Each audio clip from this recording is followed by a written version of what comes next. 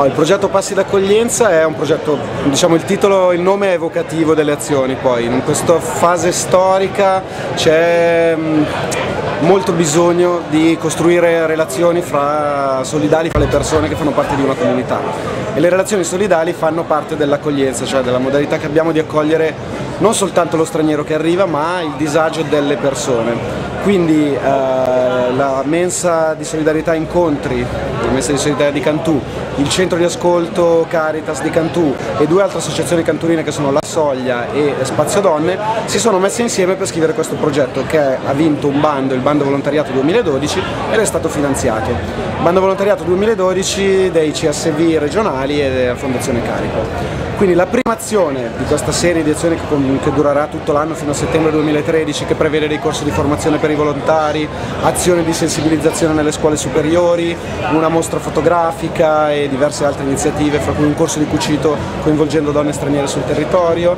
La prima azione, dicevo, è eh, in occasione del decimo compleanno dell'associazione che gestisce la mensa di solidarietà, appunto l'associazione Incontri, eh, la notte di Senza Dimora a Cantù. Quindi l'iniziativa è la notte di Senza Dimora. Però questa eh, iniziativa già esiste appunto come dicevi giustamente da dieci anni ed è stata organizzata a Como per esempio. Esatto. Però è la prima in volta realtà, che viene organizzata qui a Cantù. Esatto, in realtà eh, l'iniziativa nasce una decina di anni fa da, da Terre di Mezzo, il giornale di strada a Milano e ad oggi, cioè questa notte, dormiranno in strada in una quindicina di comuni, di capoluoghi di provincia eh, in giro per l'Italia, Milano, Roma, Treviso, eccetera, eccetera.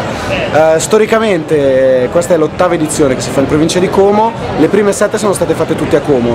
Appunto, essendo che è un coordinamento provinciale che ha sempre dato vita a questa iniziativa, eh, per quest'anno, sfruttando l'occasione del decimo compleanno dell'Associazione Incontri, si è deciso di farla girare, migrare nelle, tre, nelle tre città dove c'è una mensa di solidarietà, che sono Como, con l'associazione Incroci, Cantù appunto dove siamo con l'associazione Incontri ed Erba dove c'è l'associazione Mani Aperte.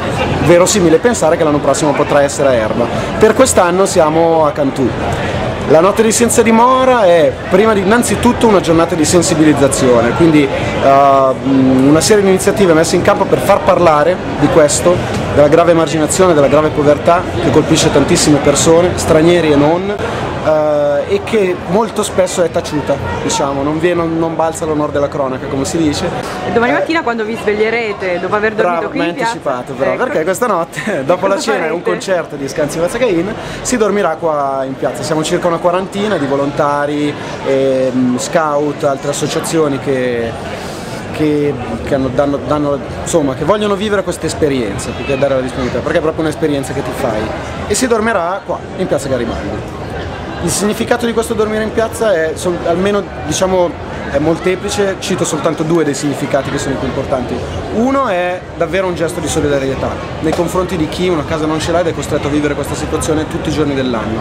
Il dormitorio c'è solo a Como, sappiamo che è pieno, sappiamo che per il Grande Fre c'è il tendone del Grande Freddo, quindi insomma è una problematica molto sentita e sono tante le persone che non riescono neanche ad accedere al dormitorio, dormono davvero in strada o in capannoni, palazzi abbandonati. Quindi da un lato un gesto di vicinanza nei confronti di queste persone e qualcuno probabilmente resterà qua a dormire con noi, per una sera non, non da solo con una compagnia nuova.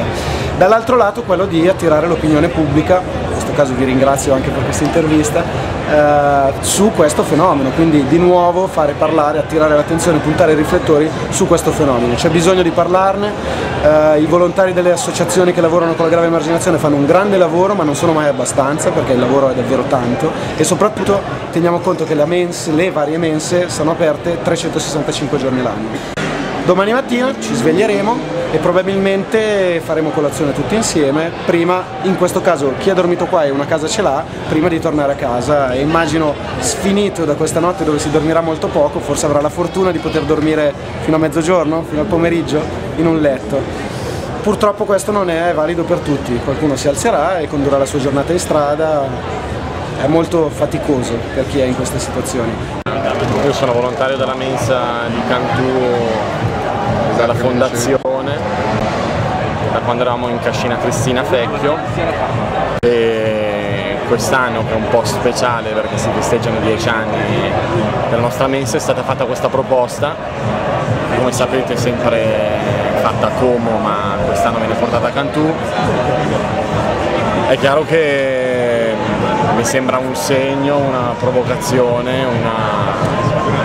Ecco, sarebbe bello se fosse una provocazione, cioè nel senso qualcosa che in un contesto come questo dove tanti giovani e tanti giovani adulti